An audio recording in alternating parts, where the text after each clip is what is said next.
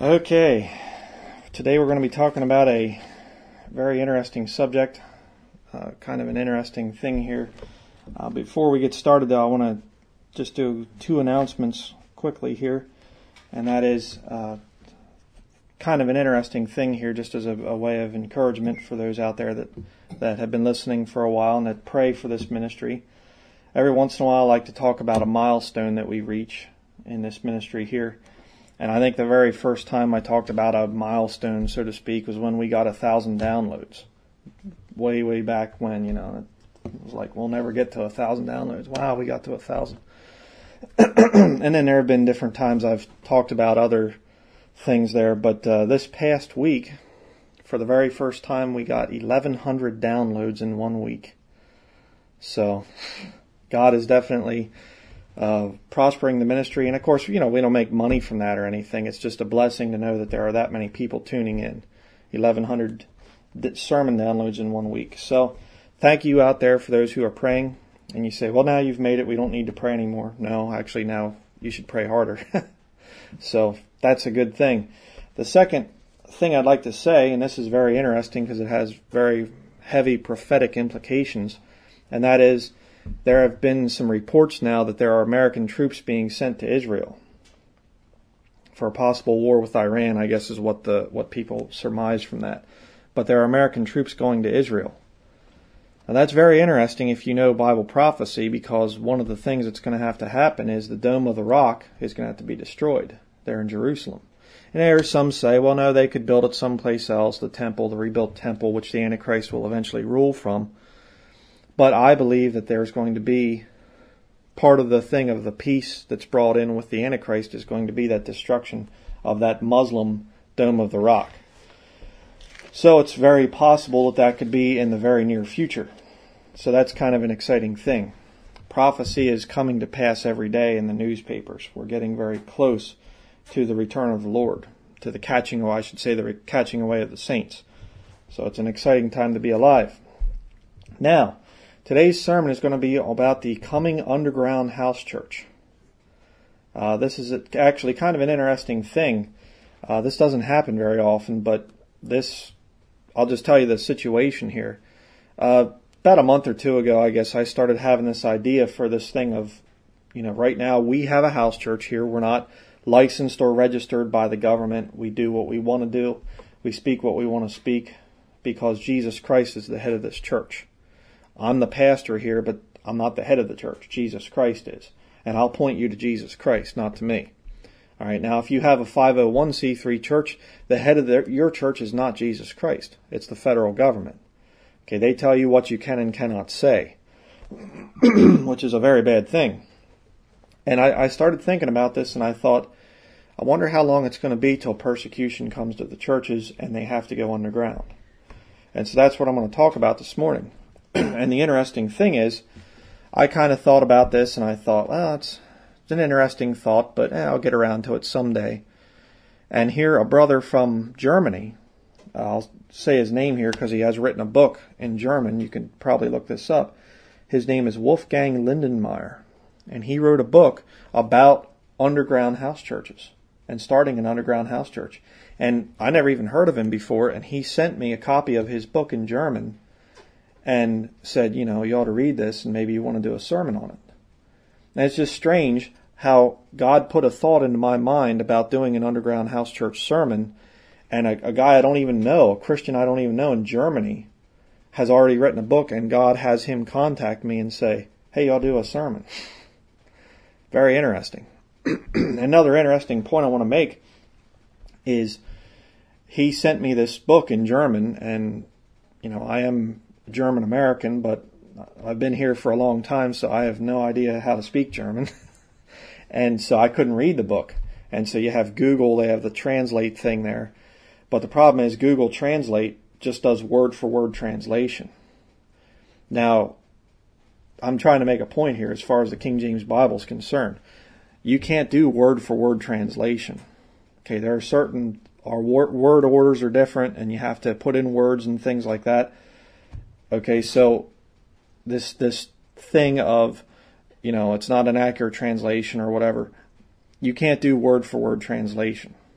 And you say, well, then how do you know that the King James Bible is God's Word? Well, because of the fruit that it bears. Again, I'm not going to go off on that, but it's just an interesting thing. Some people have this idea that you should be able to translate directly from one language to another. Not so. And we're going to go first to Proverbs chapter 22, verse 3. Now, a lot of people probably are going to say that this is a, you know, oh, you're paranoid. You're, you're talking about going underground and things really aren't that bad yet. Well, this is not about paranoia this morning. This is about preparedness. All right, if you can see some bad stuff coming, you know, you don't wait till the bad stuff gets there and then prepare. Right? Now, you know, the churches, I'll say this right up front, churches here in America, I can't speak so much for other countries, but churches here in America don't have to go underground yet. But I'm going to show you today that that time is coming. Proverbs chapter 22 verse 3 says here, A prudent man foreseeth the evil and hideth himself, but the simple pass on and are punished. Right, that's a very important thing there. If you are a prudent man, you will foresee the evil. You'll see the storm clouds on the horizon, you know, and you will start to prepare yourself for that time that's coming. And the thing there about hiding himself, we're going to talk about that in this sermon. You basically have two options when persecution comes to the church. And that's number one, you can be martyred. Some Christians have chosen that. Or number two, you can hide yourself. And it doesn't mean that you're denying Jesus Christ if you decide to hide yourself to get out of the public view. It doesn't mean you're denying Jesus. It just simply means, hey, there are unjust unjust laws out there. I'm not I can't go out and, and be respected by some of these people, so I'm going to keep myself hidden from the public view. That's what we're going to be talking about today the thing of the underground house church. Now, as I said, is persecution coming to the church? Well, right here we have the Associated Press, December 7th of 2011. This is, you know, what, a, a week or, or so ago? A week and one day, or uh, I'm sorry, a month and one day ago. Gay rights are human rights. Obama Clinton crack down on gay discrimination and say they will use foreign aid to improve LBGT rights abroad. I'm just going to read a couple quotes here and think about what's being said. The Obama administration bluntly warned the world against gay and lesbian discrimination. Uh, Hillary Clinton says here, quote, religious traditions are no excuse for discrimination. Gay rights are human rights and human rights are gay rights, she said. It should never be a crime to be gay. What does the Bible say? They which commit such things are worthy of death. It was a crime. Here in America, even, we actually had anti sodomy laws. And now, another thing she says here quote, what was once justified as sanctioned by God, in other words, being anti sodomite, is now properly reviled as an unconscionable violation of human rights. It's an unconscionable, it's reviled to be a Christian, a Bible believing Christian, and say sodomy is of the devil, that it's an abomination in God's sight. That's reviled and unconscionable. That's what she says. Another quote here from Obama this time. The struggle to end discrimination against lesbian, gay, bisexual, and transgender persons is a global challenge and one that is central to the United States' commitment to promoting human rights, Mr. Obama said in a statement. So there you have this thing of it's not just anymore, hey, it's an alternate lifestyle, and if somebody wants to do that, that's fine. You know, don't discriminate them. They're now saying that it's human rights and they're, they're trying to make it into a crime to speak against sodomy. And, you know, I was watching a video last night about uh, Brother Greg Miller put it together about the thing of the rise in sodomy is showing that we are very close to the end. Because the Bible talks about time and time again about how it was in the days of Noah, but in the book of Luke, it actually talks about the days of Lot, how it was in Sodom and Gomorrah. And how that, that when it gets like that, then the return of the Lord is going to be close. Well, we're right there. That's how bad things are getting. They're actually going to start making it a crime to speak against sodomites. And, you know, another thing I just want to say, another uh, article I saw this past week, these radical sodomites are actually starting to go to these 501c3 churches and stand outside with bullhorns and scream and yell things. And they're going into these 501c3 churches and they're making problems. It's only a matter of time before they start to say, you are not allowed to preach against sodomy. I'm going to talk about that more in just a minute here. Another big thing that happened New Year's Eve, our fabulous dictator signed the bill, the North, um, I'm sorry, the, what is it here? National Defense Authorization Act, the NDAA, whereby the military can now be used to arrest American citizens and put them in detention camps without trial, and they can put them in indefinitely. The president signed it into law. And it's for American citizens. They claim, oh, it's not for citizens, it's only for illegal aliens. No, it isn't. It's for citizens. And here's an article on it. You can look it up. Mike Adams, Natural News, January 2nd, 2012. I mean, it's just incredible. And they now have laws in the military, our military, where you're not allowed to discriminate discriminate against sodomites and other perverse groups, which I'm not going to say here, so I don't want to defile people's minds. What's my point? My point is, we are turning into a very, um, very bad country. I mean, we already had our problems, but things are going to get worse and worse. And you see, you say, what's this have to do with the churches and having to have an underground house church? Well, I've said it in other studies. I'll say it one more time a lot of people don't know about this.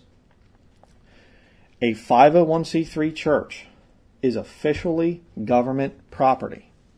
When you go down the road and you see these church buildings and things, most of them are under Section 501c3 of the U.S. IRS tax code. And what that does, when you put yourself underneath that, you basically are giving your property property over to the government. And the government dictates what is said and what is not said. And they say in the 501c3 legislation, you are not allowed to speak against public policy or do anything to affect public policy. Now they're starting to say we need to do something to stop discrimination of sodomy. They're getting close to passing laws. So what's going to happen in the future? You're going to have the government's going to come out and they're going to say, okay, churches, this is what you're going to preach. And you're going to have a lot of Christians saying, oh, no, we're not. We're not going to preach that. And the government says, yes, you will. You have no right to do that. Well, actually, yes, we do. You see, because back in the 1960s, we got all you guys on our tax code 501c3, and now we control you. And if you don't speak what we tell you to speak, not only are we going to come and shut your church down, we're going to imprison you. And they will have a legal right to do that. Oh, if you want to, you know, say legal, I mean, they're passing these laws, it's ridiculous. But they have it on paper that they can now shut these places down and imprison the pastors. And what's going to happen when that happens? the real true Christians are going to have to go underground. Now, is that going to happen before the rapture? I don't know. I can't say that. But it is going to happen at some point in time. Go to Revelation chapter 13. Common thing that you a lot of people will say when they meet someone who professes to be a Christian, they'll say, Where do you folks worship at? Now, what do they mean by that? they mean when they say, Where do you worship at? What they're saying is, Where do you go to church? What church building do you go to? Where do you fellowship? Where do you worship at? Now, is this system of worship, is it, is it only for Christians? No. Look at verse 11 here in Revelation chapter 13. Revelation 13:11 it says here and I beheld another beast coming up out of the earth, and he had two horns like a lamb, and he spake as a dragon, and he exerciseth all the power of the first beast before him, and causeth the earth and them that which and them which dwell therein to worship the first beast, whose deadly wound was healed. And he doeth great wonders, so that he maketh fire come down from heaven on the earth in the sight of men, and deceiveth them that dwell on the earth by the means of those miracles which he had power to do in the sight of the beast, saying to them that dwell on the earth that they should make an image to the beast, which had the wound by a sword and did live. And he had power to give life unto the image of the beast, that the image of the beast should both speak and cause that as many would not as many as would not worship the image of the beast should be killed. And he causeth all, both small and great, rich and poor, free and bond, to receive a mark in their right hand or in their foreheads, and that no man might buy or sell save he that had the mark, or the name of the beast, or the number of his name. Here is wisdom. Let him that hath understanding count the number of the beast, for it is the number of a man, and his number is six hundred threescore and six. Very familiar passage there about the Antichrist. And really, I mean, you could read the whole chapter there, Revelation 13, and you'll see this thing again and again of the coming Antichrist who's called the beast. He's likened unto a beast there. Obviously, he's not going to be some animal, but he's likened to that. It's speaking uh, figuratively here. But this beast is worshipped. Now, where do you worship? You worship in church buildings. Okay, this, this coming system of the Antichrist, this new world order that's coming, it's going to be a system of worship. It's very interesting. And it says about there that the image, he's going to give the false prophet gives life to the image, you know, and that these people are to worship the image. What do you have in most modern mega churches? Huge big TV screens. The Antichrist every Sunday morning could stand up and give an address to all the world, and the, and the people in those big modern churches could be worshiping him. You say, what about the mark of the beast there? Buying and selling with the mark of the beast. A lot of these big mega churches, they already have cashless giving. They have giving kiosks where you can go and you can put your Mac card in or whatever, your bank card, bank Visa. They have that. They have it, they can auto- automatically deduct it from your bank account. The system's in place. It's already there. You know, and, and you could say a whole lot more about this Antichrist system already being in the modern churches. But the, the point I wanted to make there is this coming Antichrist system is not, you're going to have to, you know, go and pledge allegiance to him and, and out in, you know, some public place. It's a system of worship. Worship is done in church buildings. And that's where it's going to happen in the future. So what are true Christians going to have to do? Well, true Christians are going to be leaving at the rapture which is not very far off. So this sermon is for if persecution comes before the rapture, but hopefully this might survive and might actually get to some of the tribulation saints that are left here after the rapture that don't want to be part of the mark of the beast system. And at that point in time, they will not have an option. They're going to have to be underground. You know, there's a whole different dynamic there in that tribulation time period. I mean, right now you can witness to anybody. You know, you see some guy with tattoos and earrings and whatever else, you can witness to him. In the tribulation time period, somebody has the mark of the beast, you can't witness to them. They're lost. Done. Chance is over. So it's a totally different dynamic. And in that, that tribulation time period, it's not about so much about evangelism, it's going to be about survival. Right now there will be martyrs in that time period, but you know, you're going to have to weigh that stuff out. Now, as I said earlier, you're basically going to have two two choices if this thing comes of hate crime laws. They're already on the books. There are already Christians that are being persecuted by this. Uh, but it's not really being strictly enforced yet on all the church buildings. But if this comes before the rapture, you're going to have two choices. Okay? Martyrdom or go underground. That's your only two choices. So we're going to look first at martyrdom. Turn to the book of Acts. Acts chapter 5. We're going to see some very interesting things here. Book of Acts.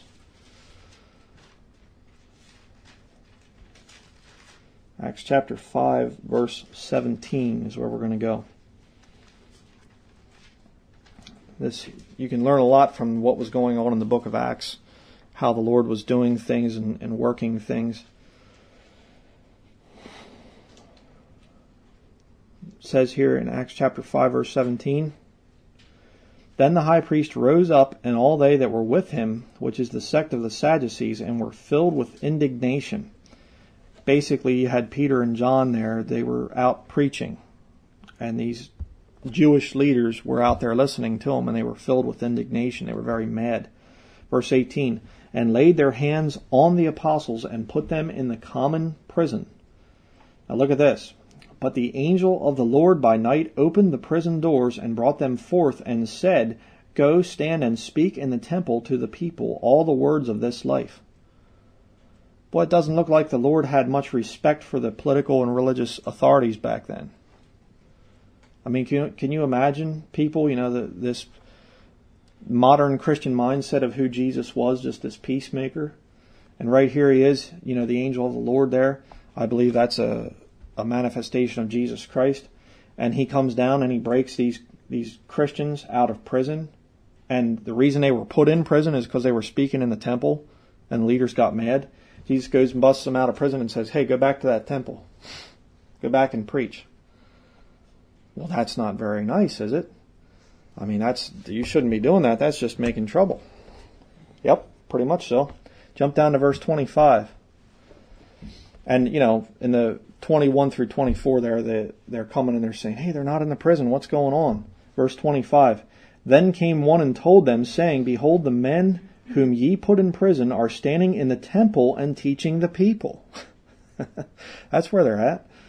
Verse 26 Then went the captain with the officers and brought them without violence, for they feared the people, lest they should have been stoned. That's interesting. Verse 27 And when they had brought them, they set them before the council, and the high priest asked them, saying, or asked them, saying, Did we not, or did not we straitly command you that ye should not teach in this name? And behold, ye have filled Jerusalem with your doctrine, and intend to bring this man's blood upon us. That's an interesting statement there that they made. Because bringing the blood of Jesus on you is what forgives your sins. That's not what they meant. They were meaning you're you're trying to, you know, make us the ones that are guilty of this of killing this man, of killing Jesus Christ. And of course they were. Verse 29. Then Peter and the other apostles answered and said, We ought to obey God rather than men. Hmm. Interesting statement there. We ought to obey God rather than men. There are going to be times when men tell you to do something and God tells you to do something else. You know, what I talked about earlier. Hillary Clinton and Obama, the rulers, the appointed authorities of our land, they have said that discrimination against sodomites is wrong. It's a terrible thing. It's, it should be reviled. It's a horrible thing. But what's God say? God says it's an abomination and you're not to have anything to do with it. So who are you going to follow? Who are you going to submit to? Verse 38. Now they basically are trying to figure out, you know, should we kill these guys and everything? Verse 38 here. Uh, this learned Dr. Gamaliel stands up and he's the one speaking here. He says here, And now I say unto you, refrain from these men, and let them alone, for if this counsel or this work be of men, it will come to naught. But if it be of God, ye cannot overthrow it, lest haply ye be found even to fight against God. And to him they agreed, and when they had called the apostles and beaten them, they commanded that they should not speak in the name of Jesus, and let them go. And they departed from the presence of the council, rejoicing that they were counted worthy to suffer shame for his name. And daily in the temple and in every house they ceased not to teach and preach Jesus Christ. They didn't care what the political authorities, the political and religious authorities told them. They did what God told them to do, even though they were commanded. Now go to Acts chapter 6, verse 5. We're going to see some more interesting things here. Okay, it says here, And the saying pleased the whole multitude, and they chose Stephen, a man full of faith and of the Holy Ghost, and Philip, and Prochorus, and Nicanor, and Timon, and Parmenas, and Nicholas, a proselyte of Antioch, whom they set before the apostles, and when they had prayed, they laid their hands on them, and the word of God increased, and the number of the disciples multiplied in Jerusalem greatly, and a great company of the priests were obedient to the faith. And Stephen, full of faith and power, did great wonders and miracles among the people. You have to remember this is still that transition time where they had signs that were confirming the word of the Jews. Okay, you're not going to see the, the great wonders and miracles today. Verse 9. Now look at this again. Now, let me just say this before we continue. Back there in Acts chapter 5, they sent the captains and things and stuff and took them without violence because they feared the people. You see, the people wanted to hear the preaching. The common people out there, they wanted to hear it. And who was it that persecuted them? It was the religious leaders. Look what happens again here, verse 9. Then there arose certain of the synagogue, which is called the synagogue of the Libertines, and Cyrenians and Alexandrians, hmm, which is where your new versions come from, Alexandria, Egypt. Alexandrians and of them of Cilicia and of Asia, disputing with Stephen. And they were not able to resist the wisdom and the spirit by which he spake. Notice the wisdom came from the spirit by which he spake, not from his own wisdom. Verse 11 Then they suborned men which said, We have heard him speak blasphemous words against Moses and against God. And they stirred up the people and the elders and the scribes and came upon him and caught him and brought him to the council and set up false witnesses which said, This man ceaseth not to speak blasphemous words against this holy place and the law. For we have heard him say that this Jesus of Nazareth shall destroy this place and shall change the customs which Moses delivered us. And all that sat in the council, looking steadfastly on him, saw his face as it had been the face of an angel. Now that is an, an extremely interesting and telling thing right there that we just read. Verse fifth, or I'm sorry, verse thirteen, set up false witnesses. Did you know that that's what will happen to you if you're a Bible believing Christian? The lost world will set up false witnesses. And look what they charge him with. Verse 14. We have heard him say that this Jesus of Nazareth shall destroy this place. So what are they charging him with? What would that be called if you if you had somebody today and they said, that guy over there, that Bible believing Christian, he said he's going to destroy this place. What would that be in our modern language? Terrorist. Terrorist. Exactly. They would say, it's a terrorist thing. He's going to do something violent. And if you've heard my one message on the, the post-trib rapture thieves, I think it's either part two or three, there's a Greek Orthodox priest and he says pre-rapture believers could actually do something violent. He actually says it. I mean, he, I have the recording. The guy says that, you know, they, it could lead them to do something violent. See, that's what they're doing. And see, they'll say, oh, you, you're discriminating, discriminating against gays, against the, the sodomites out there, and you're probably going to do something violent. You're a terrorist. See, it's the same thing. The religious leaders, these lost liberals here in verse 9, bring these charges and accusations against a Bible believer. Why? Because they can't answer him. And there's a lot of these guys out there that can't answer us as King James Bible believers and so all that's left to do is just bring up false witnesses and, and charge us with trying to do something violent. See? It's the same thing. It's, it's repeating itself. But it's interesting too that Stephen disputed publicly with them. He didn't go in private and say, well, you know, I don't want to name names or anything. He disputed publicly. Very interesting. So then what happened? Well, you can go through Acts chapter 7 where Stephen gets in some good preaching to them. And after the sermon, verse 54 When they heard these things, they were cut to the heart, and they gnashed him with gnashed on him with their teeth. And you'll see that too. You can get some of these religious, you know, fake religious people so mad that they'll just say, "I just can't stand you, you, you Bible believer." They'll see what they're doing. They're clenching their teeth and they will gnash on you with their teeth. Very interesting. Verse 55 But he, being full of the Holy Ghost, looked up steadfastly into heaven and saw the glory of God and Jesus standing on the right hand of God, and said, Behold, I see the heavens opened and the Son of Man standing on the right hand of God. oh boy. Verse 57 Then they cried out with a loud voice and stopped their ears and ran upon him with one accord and cast him out of the city, and stoned him. And the witnesses laid down their clothes at a young man's feet, whose name was Saul. And they stoned Stephen, calling upon God, and saying, Lord Jesus, receive my spirit. Stephen was calling upon God. They weren't. Verse 60, And he kneeled down and cried with a loud voice, Lord, lay not this sin to their charge. And when he had said this, he fell asleep. There's the account of the very first Christian martyr. But it's interesting. What did they charge Stephen with? Wanting to do something violent. What did they do? Something violent. Isn't that interesting? Oh, you Christians out there, you're discriminating the, the lesbian, gay, bisexual, transgender people. Well, what are you going to do about it? We're going to put you in a camp and torture you. it's like, um, you know, we're supposed to be the hateful ones, the ones that are, are killing and torturing and terrorists and whatever, and yet they, by their actions, are the true terrorists. Not much changes. All right? Very interesting. Now, you know, is this going to have to be the future of some Christians? I don't know. I have no idea. Revelation chapter 2 verse 10 says, Fear none of those things which thou shalt suffer. Behold, the devil shall cast some of you into prison, that ye may be tried, and ye shall have tribulation ten days. Be thou faithful unto death, and I will give thee a crown of life.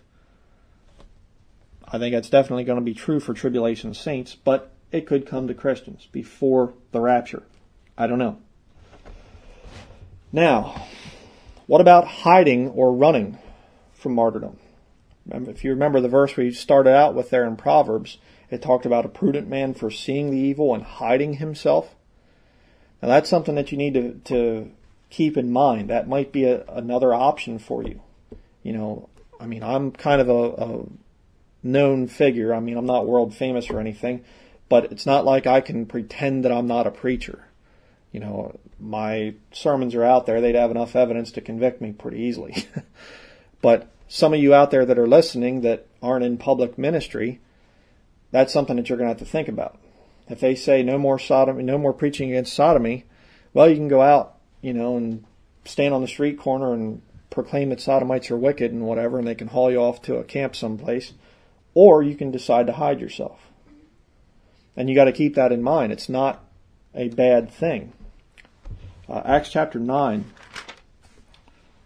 Acts chapter 9, verse 19.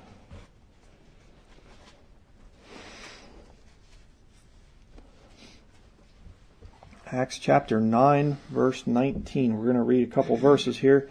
We read about Saul there, that the coats were laid at Saul's feet. Saul becomes Paul here in Acts chapter 9. Okay, here we're reading verse 19. Uh, Saul gets saved by Ananias comes in and prays for him and things, and he's filled with the Holy Ghost, receives his sight. Um, verse 19. And when he had received meat, he was strengthened then was Saul certain days with the disciples which were at Damascus. And straightway he preached Christ in the synagogues that he is the Son of God. Let me stop there for just a second. There's this thing among, especially among some of the independent Baptists, that you have to go through a time of, of education and training and everything before you can witness for Jesus Christ. I don't agree with that. There is a sense in which you should study as a Christian, that should be there. But I don't believe this thing of you have to wait for a couple years before you qualify to, to go out and tell somebody how to be saved. I don't agree with that. And you see Paul right there. Straightway he preached Christ in the synagogues. Okay? Verse 21. But all that heard him were amazed and said, Is not this he that destroyed them which called on this name in Jerusalem, and came hither for that intent that he might bring them bound unto the chief priests? But Saul increased the more in strength and confounded the Jews which dwelt at Damascus, proving that this is very Christ. Part of your education as a Christian is going to be on the battlefield, so to speak. Going out and witnessing to people, and they'll give you questions that you can't answer. And you go back and you get the answers to that question, and then you're ready for that the next time it comes up. Okay? Verse 23. And after that many days were fulfilled, the Jews took counsel to kill him. You know, they're doing violence again. Verse 24, but they but their laying await was known of Saul, and they watched the gates day and night to kill him. Now, did Paul go out there and I'm going to preach to these people, and if they want to attack me and martyr me, that's fine. Is that what he did? No. Verse 25. Then the disciples took him by night and let him down by the wall in a basket. That's a very interesting thing there. Turn to 2 Corinthians chapter 11. We're going to see it again here. He talks about it. 2 Corinthians chapter 11, verses 32 and 33. 2 Corinthians 11, verse 32. It says here, In Damascus the governor under Aretas the king kept the city of the Damascenes with a garrison desirous to apprehend me. And through a window in a basket was I let down by the wall and escaped his hands. Notice it was the governor there. It wasn't just a couple of the Jews that, you know, got together and wanted to, to hurt him. It was actually the governmental authority that was actually trying to kill him. And he escaped his hands. He said, well, then Paul lived to be an old man, lived at an old age and everything, and died in a nice, happy retirement home or something. No. Paul was eventually martyred, but you don't have to be martyred right away. It, you know, might not be, you know, and if there's a way to escape and the Lord provides a way to get out of a thing, you know, if, if persecution comes and the churches have to go underground, do it. And if you can do it, if you can just get off the radar, so to speak, you know, get off the radar. Okay? We'll continue here. What about Jesus? Is there any stories about Jesus? Did he always just openly stand up and never back down? Luke chapter 4. Matthew, Mark, Luke. Luke chapter 4, verse 16.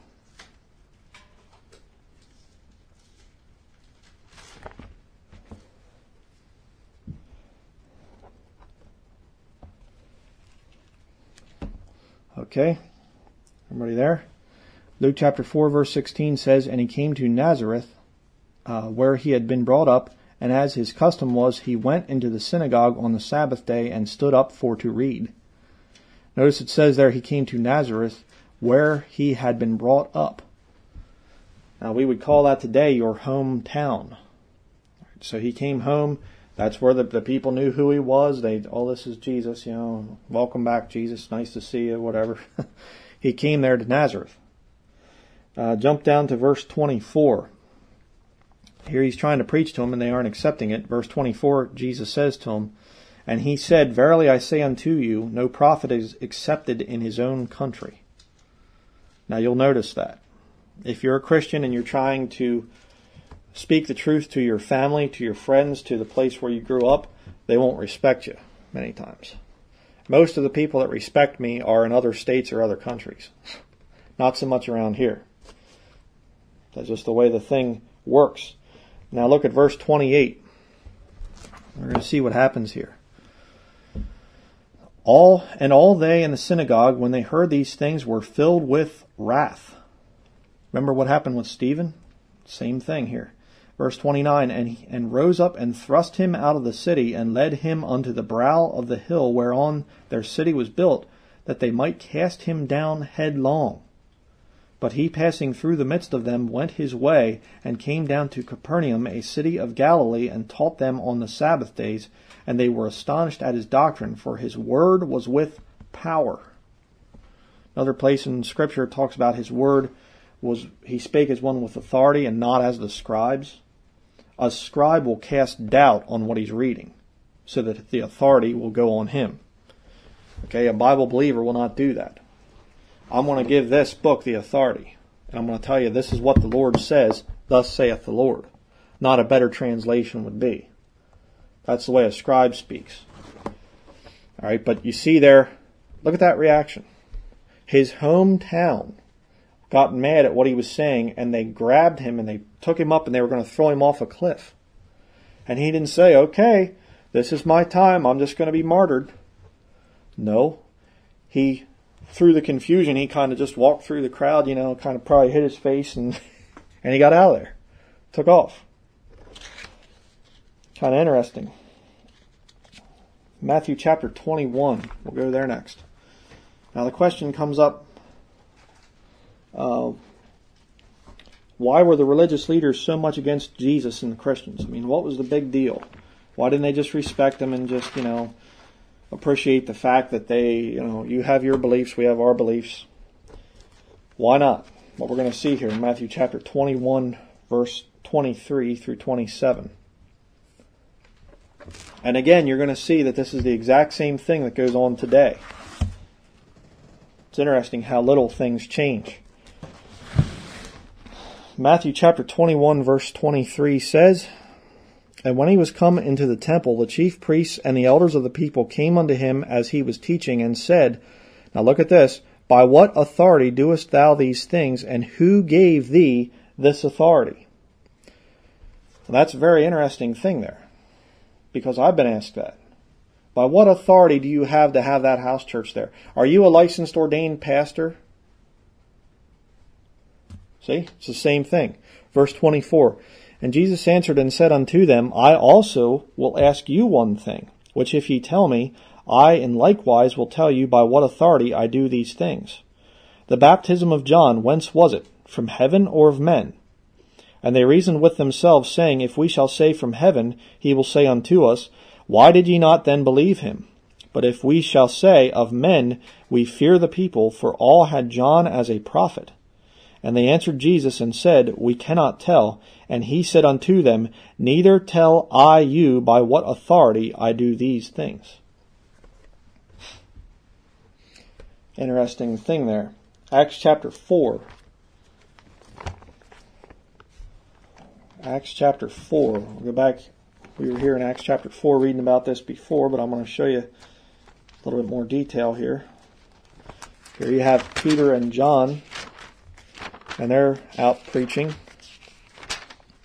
Acts chapter 4, verse 5.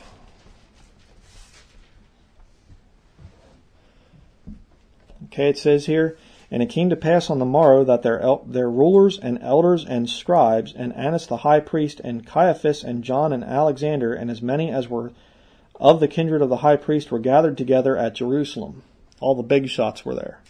You know, it'd be kind of like an ecumenical meeting today where you'd have the Pope and you'd have the uh, Archbishop and you'd have the, you know, the head of the Orthodox Church and you'd have the head of the Episcopalian Church and the Independent Baptist or the American Baptists or Southern Baptists or, you know, United Methodists and all these big shots. They all gathered together. Verse 7. And when they had set them in the midst, they asked, By what power or by what name have ye done this? Isn't that interesting? Whose authority do you have? We didn't, you know, we didn't, we, none of us licensed you to go out and preach. This isn't your diocese. You know, how, what right do you have to be here? It's very interesting. And by the way, that's one of the reasons a lot of Christians came here to America. Because over in Europe, after they cast off the Catholic Church back in the Reformation, the Protestant churches that took over were licensing their preachers. Okay, the King of England was having his preachers officially ordained and licensed. And what was happening is you'd have Christians that would go out and preach the gospel, and they were being beaten and imprisoned. John Bunyan is a good example of that. He said, I'm not taking a license from the government. And that's what a lot of the early Christians were. They wouldn't take a license. Okay, now look at verse 13, there in Acts chapter 4 says here, Now when they saw the boldness of Peter and John, and perceived that they were unlearned and ignorant men, they marveled and they took knowledge of them that they had been with Jesus. You know the two things that are going to be hurled at you if you're not a licensed, ordained preacher? They'll say you're unlearned and you're ignorant. Isn't that interesting? I've had that a couple times put on me. What are your credentials? Well, does it, what does it matter? I'm showing you what the Bible says here. If I'm wrong, then use scripture to prove me wrong. You don't say, well, you don't have a degree, you know, you're not a PhD, you know. You know. That that's not the way it works. It's not what power, what authority, what license, you know, who licensed you to be here? That isn't it. That's man-made religion. That's not the way it's supposed to be. Look at verse 15. Okay, it says here, but when they go, when they had commanded them to go aside out of the council, they conferred among themselves, saying, What shall we do to these men? For that indeed a notable miracle hath been done by them is manifest to all them that dwell in Jerusalem, and we cannot deny it. But that it spread no further among the people, let us straightly threaten them that they speak henceforth to no man in this name. And they called them and commanded them not to speak at all nor teach in the name of Jesus. But Peter and John answered and said unto them, Whether it be right in the sight of God to hearken unto you more than unto God, judge ye. He didn't say we're going to do that. He just said you guys judge it. Of course it isn't. Verse 20, For we cannot but speak the things which we have seen and heard. So when they had further threatened them, they let them go, finding nothing how they might punish them because of the people, for all men glorified God for that which was done. So the only reason that they didn't punish him is because the people were praising the Lord as a, as a result of this. Now, we're going to look at a couple more verses here and then we're going to be done this morning. The question comes up, is it ever okay to lie to political authorities? Some people would say no, but I'm going to show you what the Bible says. Exodus chapter 1, go way back in the Old Testament. Your first book in the Bible is Genesis, then the second book is Exodus. Exodus chapter 1. We're going to look at verse 15.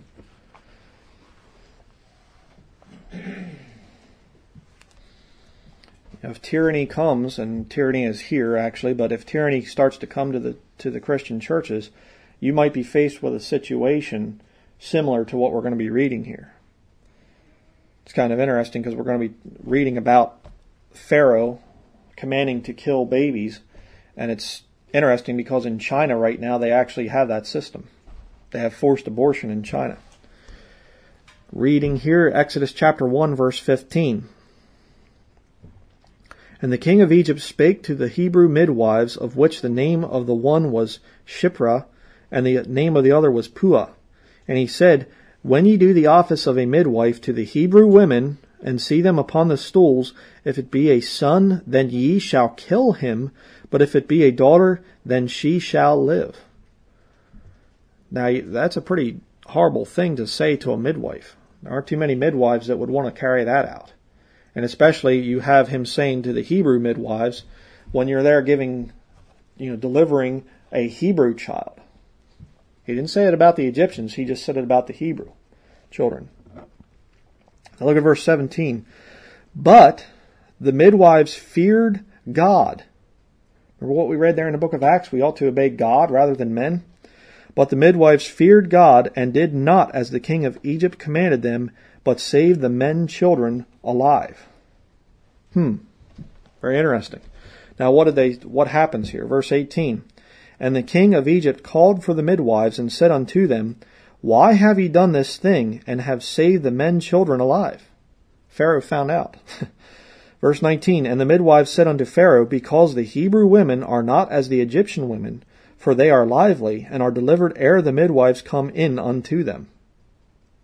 Is that true? No. That was a lie. I mean, give me a break.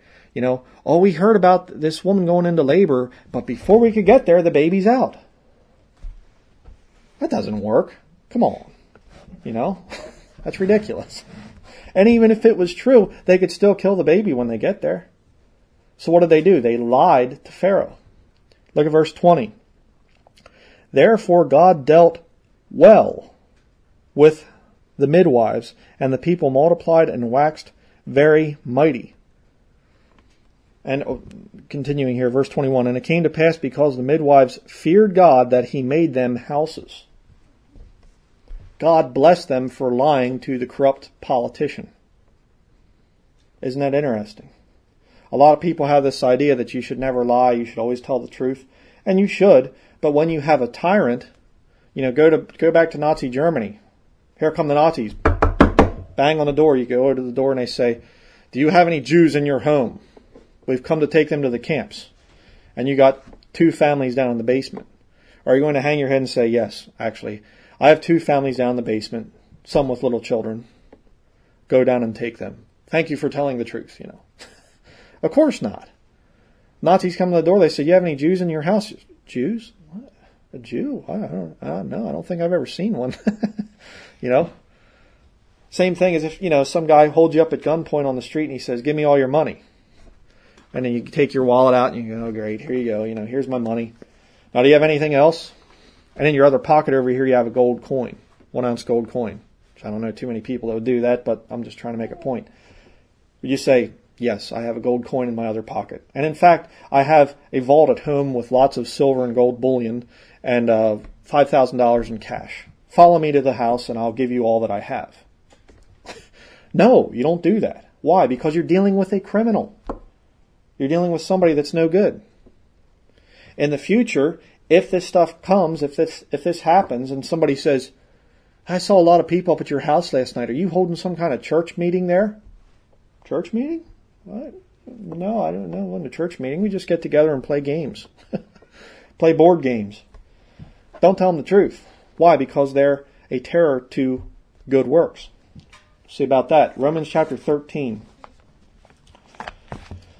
Romans chapter 13, verse 1. There's a lot of false teaching on this, and especially if you go to a 501c3 church. I've been in quite a few of them over the years, and I've heard this text preached on three different times, and all of them skip certain verses. They will not define the rulers, the powers that are ordained of God. They will not define them. Romans chapter 13, verse 1. Let every soul be subject unto the higher powers, for there is no power but of God. The powers that be are ordained of God. Did God ordain Hitler? Yes. He did. Okay? Why? Because the German people were decadent and wicked. Did God ordain Obama? Yes. I hate to say it, but God put him in there. Why? Because the American people are wicked.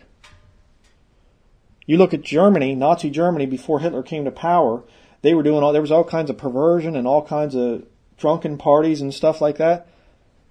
And you look at America before Obama came to power and before all these other, you know, evil people came to power, it's the same stuff going on. God will allow these evil men to come in.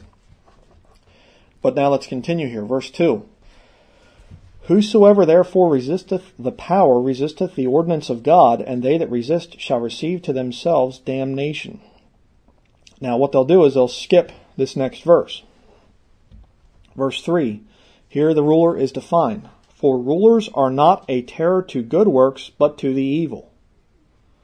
Wilt thou then not be afraid of the power? Do that which is good, and thou shalt have praise of the same in the text here, in the context, the thing of being subject to the ruler, to the higher power, it's a good ruler, a good higher power. Why? Because they're not a terror to good people. They will actually praise those that are doing good. That's what, who is being defined here. Verse 4 For he is the minister of God to thee for good. But if thou do that which is evil, be afraid, for he beareth not the sword in vain, for he is the minister of God, a revenger to execute wrath upon him that doeth evil. Wherefore ye must needs be subject not only for wrath, but also for conscience sake. So you have there the definition. A ruler, a real ruler that you're to be subject to, is not a terror to you if you're a good Christian. But when they become a terror to you, when it's now the criminals that are protected and the good people that are attacked, you have no responsibility to that ruler. Just as the early Christians there, they were going out and preaching, and the rulers of the people were saying, "You're not allowed to do that," and the Christians were saying, "Hey, we're gonna we're gonna follow God and not you." When Pharaoh came along, if Pharaoh would have said, "Hey," you know, do a good job delivering all the children and things like that. If he had said that to the midwives, they should have obeyed him. But when, Her- when Pharaoh came along and he said to the Hebrew midwives, I want you to kill those children, the male Hebrews, those midwives had to say, Our God says that that's wrong. We're not going to do it.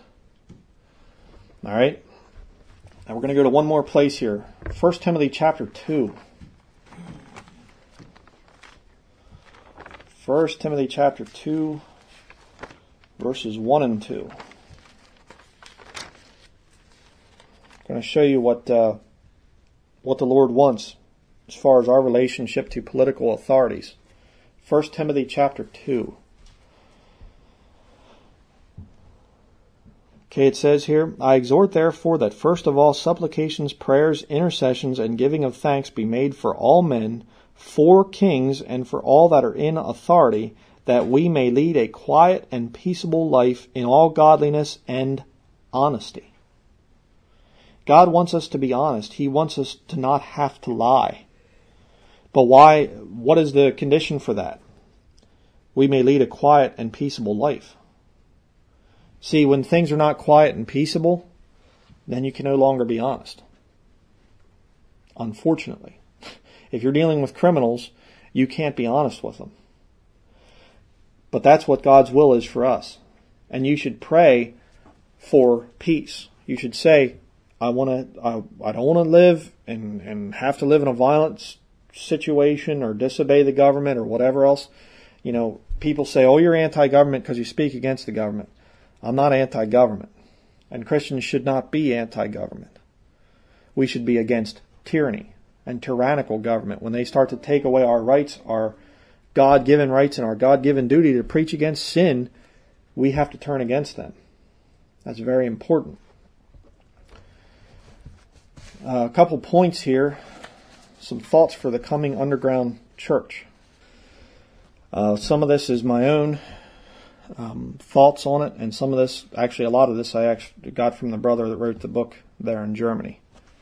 Uh, first of all, when the churches go corrupt, the 501c3 churches, when they go corrupt, true Christians are going to need to worship away from public view. All right, you aren't going to be able to. I mean, this house church here, where there's no sign down at the end of the road saying, or down at the road there saying, uh, Bible Believers Fellowship, all are welcome. You can't do that. And there are a lot of scriptures in the Bible.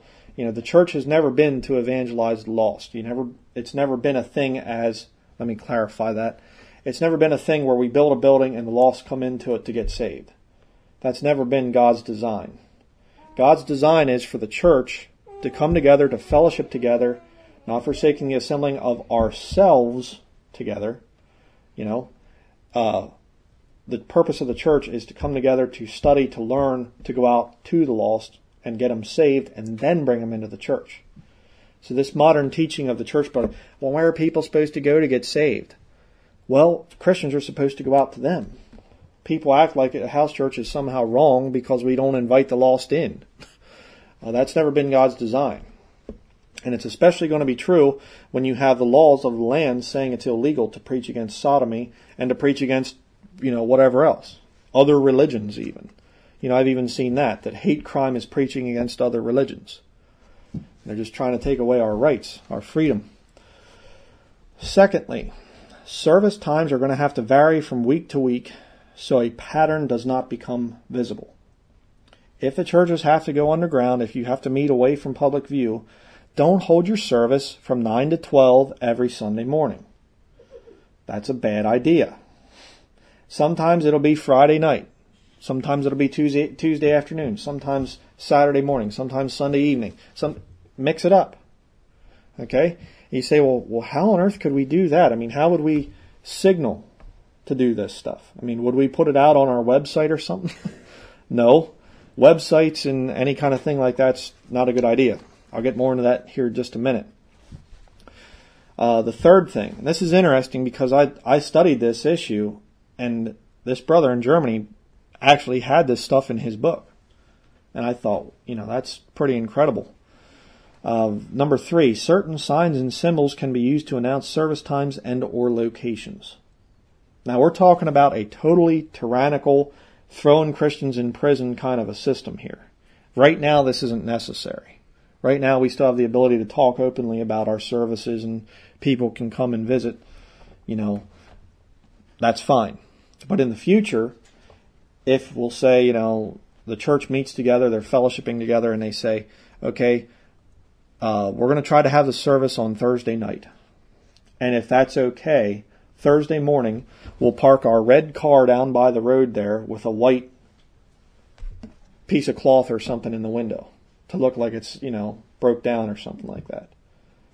See, you signal things like that. Or you'll say, we're, you know, if, if the service is on, if it's okay, we'll hang some wash out on the front porch. We'll hang our, this specific rug over the railing. And then the people drive by at some point during the day and they say, okay, service is on. And if it's not hanging there, Or if there's a red thing hanging there or something, well, okay, then it's off. You know, you I mean, we're talking about total tyranny where you have to hide from the evil people in authority. And in the tribulation, this is going to come into full manifestation. You're going to have to use these, these systems. Okay, and on that note, no electronic communication. That's all tracked. I'm going to be talking about that this coming week. I'm going to be doing a, another message here, but electronic communication can be tracked and traced very easily. I read a story in this in this brother's book from Germany about a woman in North Korea that they were a house church and she messed up. She was on the phone and this woman that she was talking to was another member of the house church and they were talking about the weather and about, you know, shopping and getting a good deal at such and such a store. And this one woman, she said, I'm just kind of feeling sick, you know, not, not feeling all that good. And the other woman said, well, I'll be praying for you. See ya. Hung up the phone. Within an hour, she was arrested and taken to a camp. Within an hour. That's what it's like to live under tyranny. And see, right now, this stuff seems paran- you know, kind of paranoia and stuff to, to people in English speaking countries. But you go to China, or you go to North Korea, or some of these places, or Pakistan, or some places like that, this stuff is already being practiced. They're already being persecuted. Uh, another very important thing right now, in a time when there's really no persecution, real, no real persecution right now for us, Right now is the time to stock up on King James Bibles, books, audio sermons, etc. Right, that stuff eventually could become illegal. In the tribulation, it will definitely be illegal. Revelation chapter 6 talks about people being killed for the word of God, as well as for the testimony of Jesus Christ.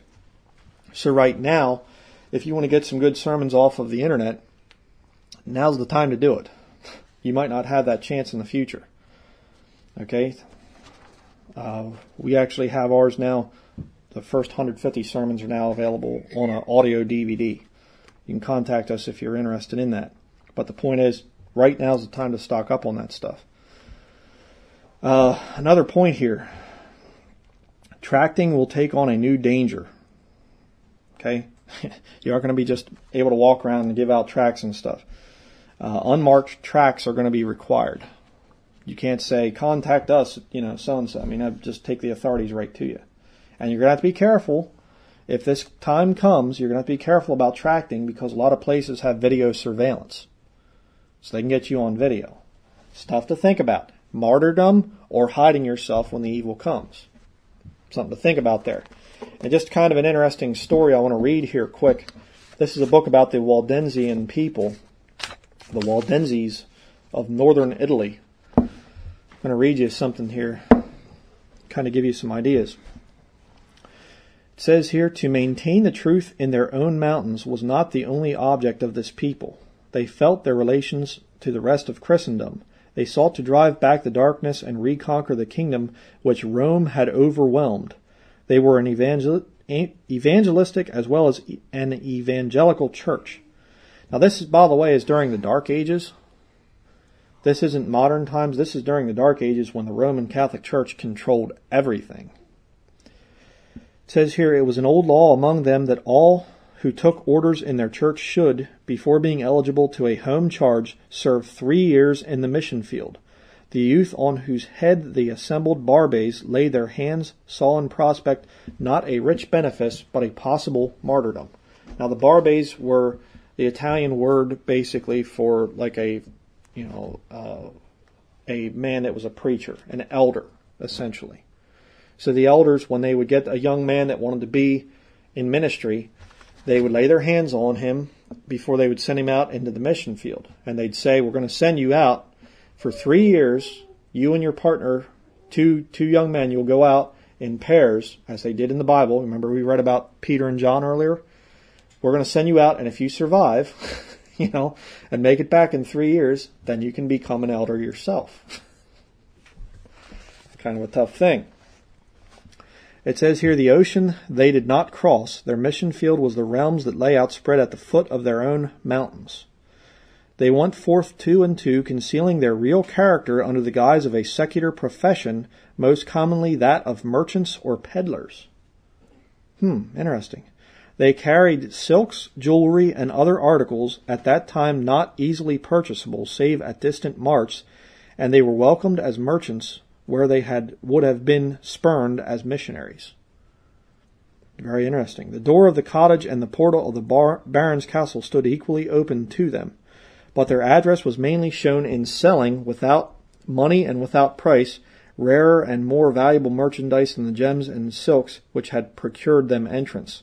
They took care to carry with them, concealed among their wares, or about their persons, portions of the Word of God, their own transcription commonly, and to this they would draw the attention of the inmates.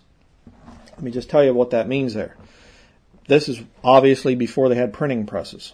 So they would take their Bible and they would write out portions of Scripture. They'd write out verses and then they would carry these transcripts with them, and then they'd be saying, "Oh, you see this fine silk here and this fine cloth? Oh, and by the way, here, here's something that's very interesting to read. The Bible says here, or you know, this look at this. It says, "For God so loved the world that He gave His only begotten Son." You know, and they would read that, and if the people were interested, then that would open up the conversation, and they would be able to witness to them. And if they'd say, "Where would you get that? Where'd you get that?" Oh, I just kind of found it, you know. and then they'd go back to selling the silk. So it was a very wise thing that they would do. Continuing here just a little bit more. When they saw a desire to possess it, they would freely make a gift of it where the means of purchase were absent. In other words, if people wanted to buy these verses of Scripture, they'd say, just go ahead and take it. It's yours. There was no kingdom of southern and central Europe to which these missionaries did not find their way, and when they did not leave traces of their visit in the dis- disciples whom they made. On the west they penetrated into Spain. In southern France they found congenial fellow laborers in the Albigenses, by whom the seeds of truth were plentifully scattered over Dauphine and Languedoc. On the east, descending the Rhine and the Danube, they leavened Germany, Bohemia, and Poland, with their doctrines, their tract being marked with the edifices for worship and the stakes of martyrdom that, around, that arose around their steps. Even the seven hilled city they feared not to enter. They went into Rome, into Vatican City back in the Dark Ages. The very citadel of, of Satan back then. They actually went in there. Scattering the seed on ungenial soil, if perchance some of it might take root and grow, their naked feet and coarse woolen garments made them somewhat marked figures in the streets of a city that clothed itself in purple and fine linen, and when their real errand was discovered, as sometimes chanced, the rulers of Christendom took care to further in their own way the springing of the seed by watering it with the blood of the men who had sowed it. Okay? So, in other words, sometimes they were martyred, sometimes they got away with it. You know, if you went out and you got martyred, well, you don't get to become an elder then. and, you know, that's going to have to be the way it'll be in the future. Now, a couple more points here and then we're done. In the time of Jacob's trouble, which is coming, and I referred to this earlier, witnessing will not be possible to those who have taken the mark. Salvation will be more about survival in that time. That's why you read Matthew 24:13 it says about enduring to the end and that you'll be saved. You're going to have to endure to the end if you make it into that time of Jacob's trouble. The only people that'll make it into that are those who have rejected Jesus Christ. Uh, number eight, Remember that Daniel, Shadrach, Meshach, and Abednego all survived under the tyrannical dictatorship of Nebuchadnezzar. Their loyalty was put to the test, but they survived and, in fact, thrived. You read about Daniel, he was actually a wealthy man. Not because he compromised, but because he stood his ground and God delivered him through that time. So that's another possibility. Uh, we must be open to God's leading right now, but we must never compromise. So, in conclusion, let me just say start preparing right now. Hopefully, we will be able to continue preaching in peace until the rapture. That's what I hope. But if the time comes when they say you can't speak against sodomy, well, you're going to have to weigh it out martyrdom or hiding yourself. So that's going to be it for this morning. And I thank you for listening, and I pray that you will be open to the Lord's leading for the future. Let the elders that rule well be counted worthy of double honor, especially they who labor in the word and doctrine. For the Scripture saith, Thou shalt not muzzle the ox that treadeth out the corn, and the laborer is worthy of his reward. If these sermons or videos have been a blessing to you, please help us to continue this work by supporting this ministry. You can send a check payable to Bryan Denlinger to King James Video Ministries, P.O. Box 300, Bradford, PA 16701. Or you can donate online through PayPal at our website www.kingjamesvideoministries.com. Thank you, and may the Lord Jesus Christ bless you.